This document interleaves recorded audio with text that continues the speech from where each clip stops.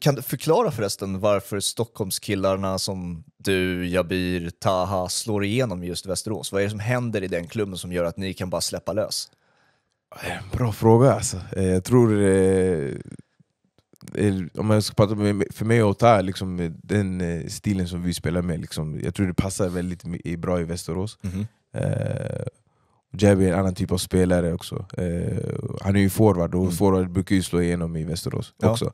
Eh, så jag tror det de kan få många olika spelstilar liksom och få kunna bidra i ett lag. Ja. Eh, för eh, det kan vara svårt för liksom, en dribblare att passa in i ett lag kanske. Mhm. Eh, jag tror med i Västerås så får man den, kanske den friheten att göra det. Liksom.